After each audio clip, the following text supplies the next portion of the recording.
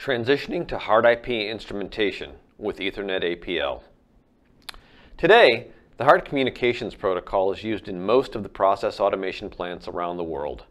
The technology is well known, reliable, and easy to use. Today's HART-based control architecture relies on devices using the 4 to 20 milliamp or wireless HART physical layers.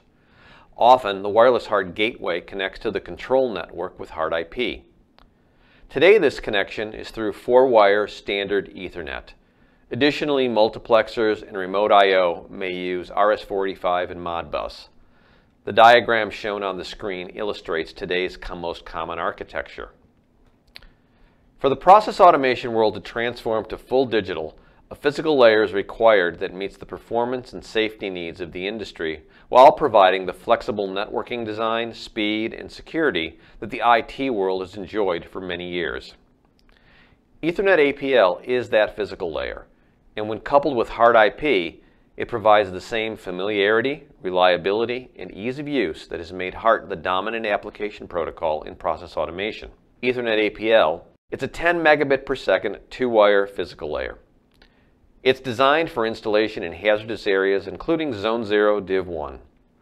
Power to the instrument is supplied through the two-wire cable. It can, be, it, it can use standard field bus type cable, and it can support cable runs of 200 meters from instruments to switches and 1,000 meters between switches. Finally, by using Ethernet technology, the physical layer is for the first time separated from the application layer for process automation devices. More on this later.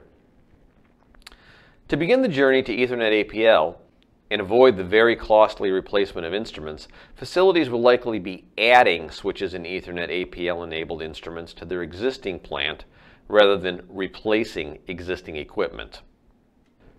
To get started, a facility can evaluate the ease of installation and configuration offered by standard Ethernet protocol while still using 4 to 20 milliamp instrumentation. In this drawing, we've added an Ethernet APL remote I.O. system and an Ethernet APL field switch to the existing equipment.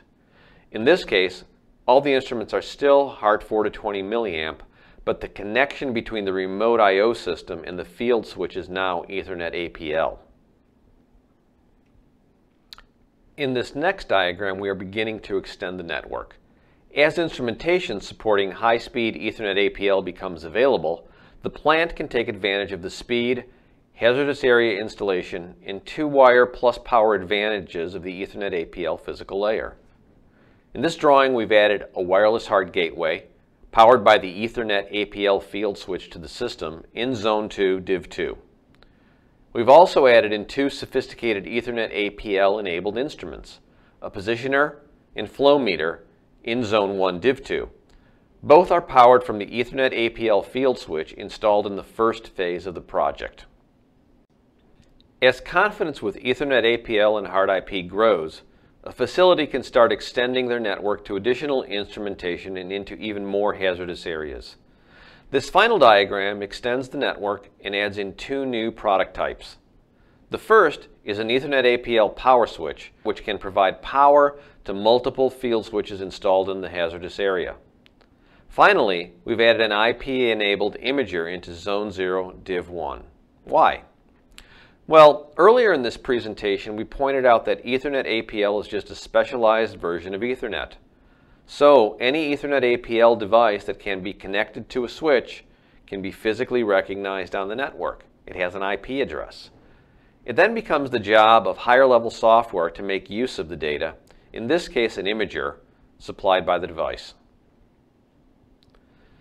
This imager drives home the point that deploying Ethernet APL opens up the opportunity for coexistence of devices on a single network that can support many application layers.